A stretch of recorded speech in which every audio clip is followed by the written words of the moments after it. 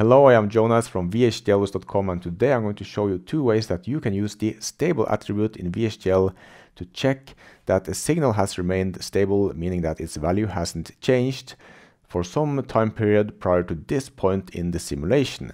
Because stable is what's called an attribute. It's kind of like a function call attached to a signal object.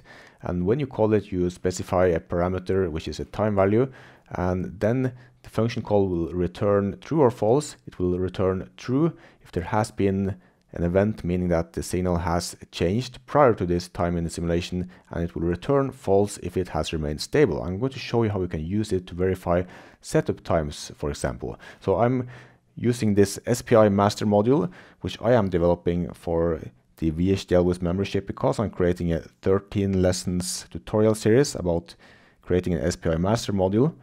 And this is part of the test bench. So the output from the SPI master is chip select and S clock. So we're going to focus on these two signals and we can see the device in the test is uh, changing them. But what I want to check at this point is that after the falling edge of chip select, the S clock doesn't change too fast because according to the datasheet of the chip we are communicating with, this time period should be at least some minimum time. And we can use the stable attribute to check that in VHDL. So I've created a new verification component here. This is part of the test bench. It just takes in the chip select and the S clock from the device in the test. This is instantiated in the test bench. So I'm going to create a new process here to check that using the stable attribute. Just create an empty process with no sensitivity list. And then we're going to wait until the falling edge of S clock, like that. So after this line of code, we are going to be at this point in the simulation, the falling edge of S clock. And then we're going to look back in time on the CS signal and see has it remained stable for a given time. And to do that, I'm going to use an assert statement, assert false, or assert that CS attribute stable. So now I'm using the stable attribute has remained stable, for example, for 300 nanoseconds. And if that's not true, we're going to print the message. S clock falling edge too close to CS falling edge, for example. So what's going to happen now is that we're going to wait until the falling edge of S clock, and then we're going to look at CS, has it remained stable by using this stable attribute for 300 nanoseconds prior to that point. So let's save this and recompile, rerun the simulation. And there was some error here, failure, S clock falling edge too close to CS falling edge. So the assert statement kicked in and stopped the simulation. And let's have a look at the waveform. It stopped at the first falling edge because I said 300 nanoseconds and that's somewhere around here. So it has changed at this time. But let's say that it's not 300 nanoseconds, it's going to be 10 nanoseconds, I think was the value. Doesn't matter, this is just a demo, so I'm going to save this and see if it will pass. Because 10 nanoseconds prior to that point is going to be around here, so that's going to be enough. So let's recompile now and rerun that test bench and see if it will pass. Test OK, so it seems that we got past that point. And we did, the test bench has run all the way until the end, and it didn't stop on any of these events where CS is falling and then S clock. So you see, it's easy to use stable to check that the signal has remained stable uh, prior to some time. So I'm going to show another example which is a bit more tricky, but I'm going to show you how to do it. So I want to check now the pulse duration of this CS pulse. So there's also a requirement in the datasheet for the module I'm communicating with that the pulse, the high period of CS has to be a certain time. From here to there has to be a certain time. It has to be high for a minimum time duration. So we're going to check that as well. It's only the CS signal, not the S clock. We're just looking at the CS signal right now. So let's try to do the same procedure here as we did. To create a new process. And then we're going to wait until the falling edge of CS, of chip select. And then when we are at this point in the process, that's going to be here on the falling edge of CS. And then we're going to look back in time, when was the last time CS changed? And it has to be a minimum time. So let's try to do that. We're going to use the same method here. Assert failure if CS attribute stable if it has not been stable for 300 nanoseconds. And then we can write some message if that is not true. CS pulse too short. Save this and let's try it out in ModelSim. Recompile and rerun the test bench. CS pulse too short.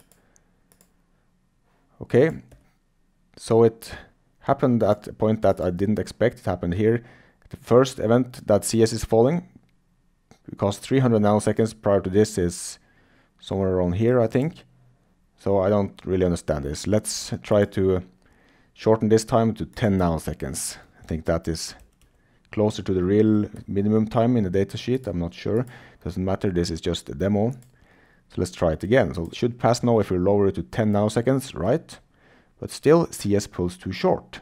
How about if we set it to 0 nanoseconds, meaning that it shouldn't have to be stable at all? Let's try that out. But it is still failing, even with 0 nanoseconds. So what is going on here? I'm going to tell you what is going on. So we are waiting until the falling edge of CS, and then we are checking has it remained stable for some time prior to that. But at this point, right here is changing at this exact moment in this delta cycle.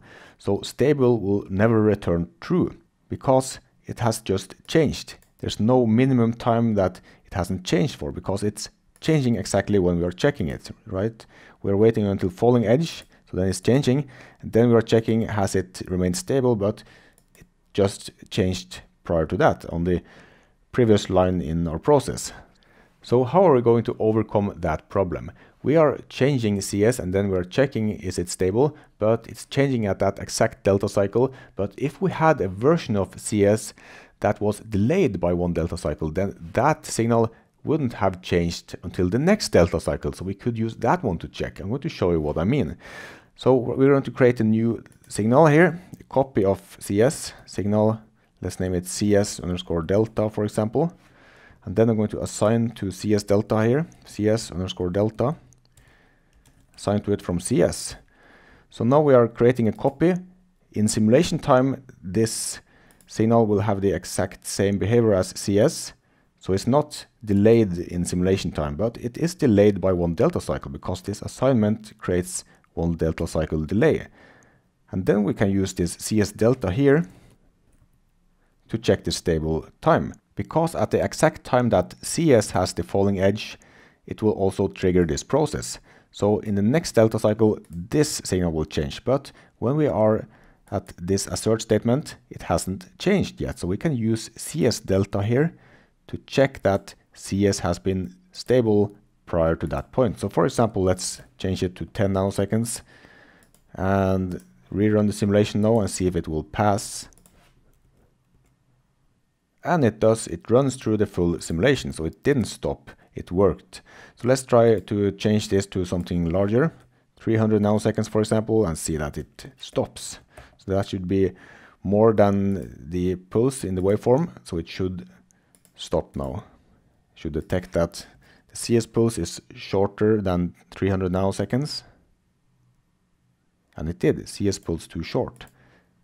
It stopped at the falling edge of CS because it detected, using this CS delta signal, that CS had changed less than 300 nanoseconds prior to this time in simulation.